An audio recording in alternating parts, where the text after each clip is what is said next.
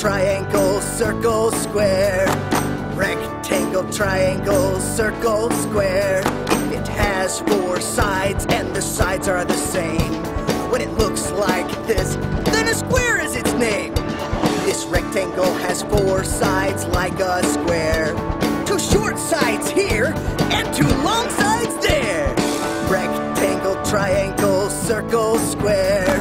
Rectangle, triangle, circle,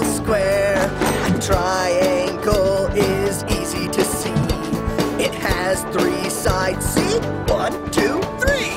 A shape with no sides is perfectly round. We call it a circle. It just rolls on the ground. Rectangle, triangle, circle, square. Rectangle, triangle, circle, square. I said rectangle, triangle, circle,